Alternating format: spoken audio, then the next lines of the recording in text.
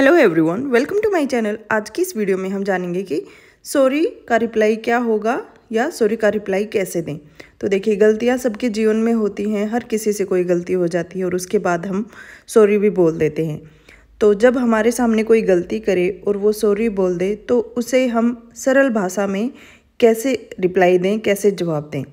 तो हम कह सकते हैं नो प्रॉब्लम एट ऑल यानी कोई दिक्कत नहीं है, कोई बात नहीं। या फिर हम कहेंगे it's okay don't worry about it यानी कोई बात नहीं हो जाता है।